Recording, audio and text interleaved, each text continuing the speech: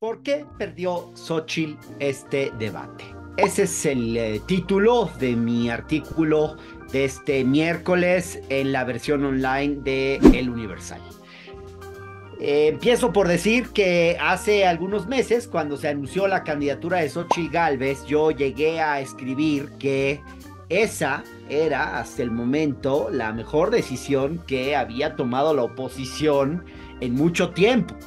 El perfil de Sochi, distinto al de la clase política tradicional y más creíble que el de buena parte de los eh, personeros del PRIAN, se antojaba capaz de dar batalla y capaz también de introducir un elemento de incertidumbre en una campaña de resultado bastante predecible. Ahora, después de observar a lo largo de estos meses eh, el desempeño de Xochitl Galvez y particularmente eh, el más reciente debate, temo haberme equivocado. La campaña de Xochitl empieza a parecer una, un episodio de tragicomedia. Hoy no queda claro si el problema es la candidata, las erráticas decisiones de su equipo o acaso la injerencia de las cúpulas de los partidos aliados en decisiones de la campaña de Xochitl Gálvez. No lo sabemos a ciencia cierta, pero lo cierto es que las apariciones públicas de la candidata se han caracterizado por una sucesión de tropiezos y no ha sido capaz de proyectar un mensaje coherente y congruente. De ahí que el domingo la candidata del PRIAN no logró salir victoriosa entre los comentócratas más críticos eh, de la 4T, ni siquiera entre estos, eh, la mayor parte de los cuales criticaron el desempeño de Xochitl en el debate.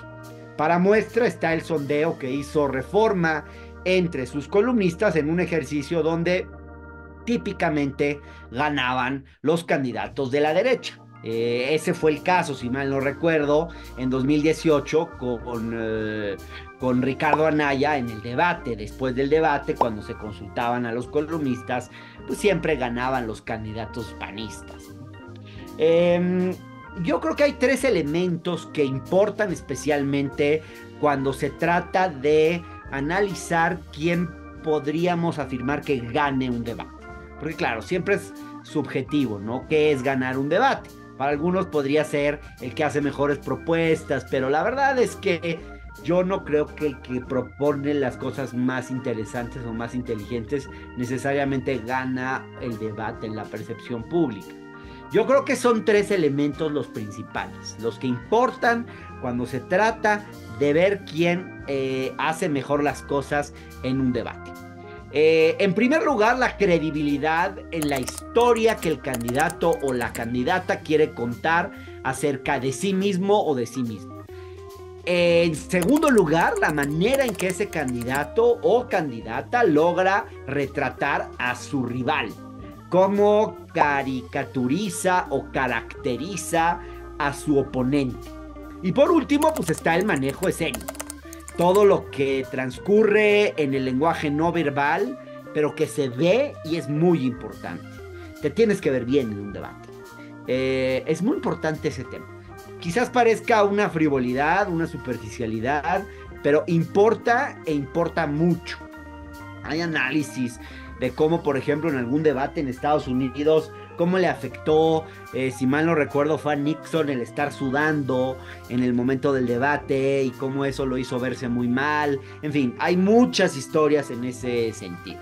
Bueno, pero vamos a hablar de estos tres elementos que propongo para analizar qué es eh, ganar o perder un debate. En el primer ámbito, yo creo que, es el de qué historia cuentas de ti mismo como candidato o candidata. Yo creo que Xochitl claramente llegó al debate en una posición de debilidad previa, que no podía resolver esa noche. Lo describió bien Jorge Cepeda Patterson cuando decía en un artículo en Milenio esta semana cómo es un misterio lo que haría Xochitl en caso de llegar a la presidencia. No sabemos qué haría Xochitl en caso de llegar a la presidencia. Volver al pasado, eh, pero si es volver al pasado, ¿a qué pasado? Al pasado de Peña Nieto, al pasado de Vicente Fox, al pasado de Felipe Calderón, o se trataría de ofrecer otra cosa porque em, ella, digamos, supuestamente no es de ningún partido y es una candidata ciudadana. Pues la verdad es que hay una indefinición ahí muy grande y con semejante indefinición en su narrativa era difícil que Xochitl pudiera, eh, que a ella pudiera irle bien en este debate. En el segundo ámbito que propongo, que es la manera de retratar a su principal rival o contrincante, yo creo que ahí Xochitl también perdió.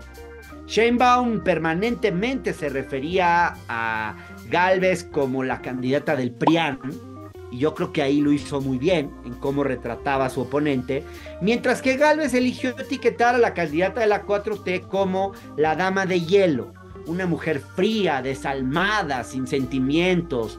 Y como bien lo dijo León Krause, con quien rara vez coincido, pero en su análisis de este debate tuve muchas coincidencias, eh, esto él lo dijo en un intercambio que tuvimos entre columnistas del Universal.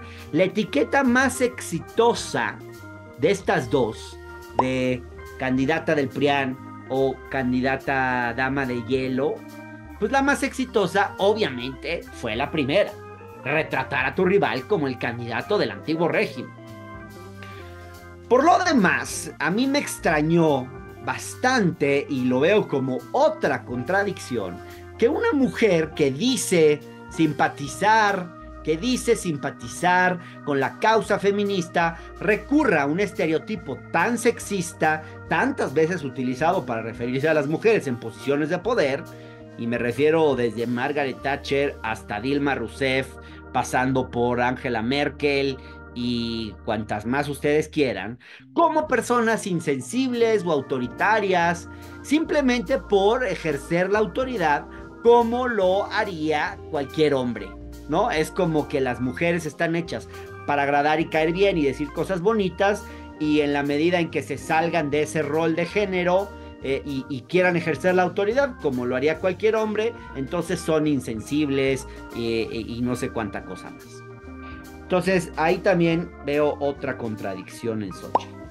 Y ya por último, en el tercer ámbito, el del manejo escénico y el lenguaje no verbal, yo creo que Xochitl tuvo un desempeño trágico mientras los otros dos candidatos eh, retrataban bien, era evidente el rostro demacrado de la panista, que probablemente pues, no había dormido en toda la noche, se veía enojada además, por momentos triste, y en la primera mitad del debate se la sentía nerviosa e insegura.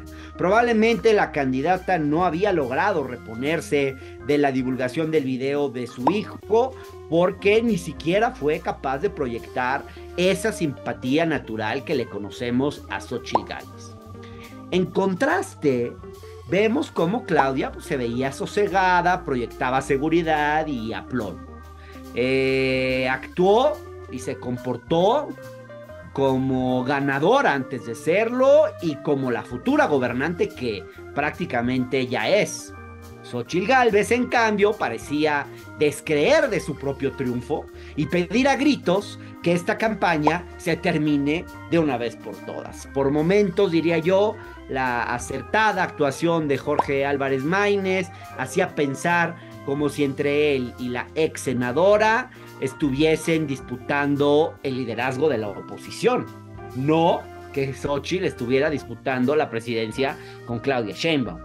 A mí, por lo menos, me dio esa impresión. Díganme ustedes qué piensan. Si coinciden conmigo, escríbanme. Eh, me pueden contactar por Twitter, a Hernán Gómez Bue, eh, de Bueno, en el canal de Hernán en YouTube. Suscríbanse en Facebook, en mi fanpage.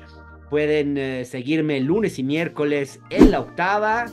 Em, esto por las noches, 6.45 pm en el grupo Radio Centro con Carlos Castellanos. Me pueden seguir obviamente en MBS los miércoles a las 8 eh, y media de la mañana, de 8 y media a 9, tenemos una mesa de debate moderada por Luis Cárdenas con Juan Ignacio Zavala. Pueden seguirme en la visita incómoda por el canal del Congreso y desde luego leerme los domingos en el Universal y también algunos miércoles que escribo también cuando hay cosas importantes de las que quiero hablar. Así que gracias, gracias y un saludo.